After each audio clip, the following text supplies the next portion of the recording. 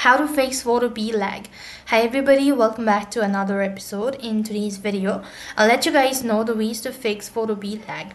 In order to fix it, you could follow the steps. Now first thing, you could try opening the Photopea in incognito mode to check for the browser extension causing issue.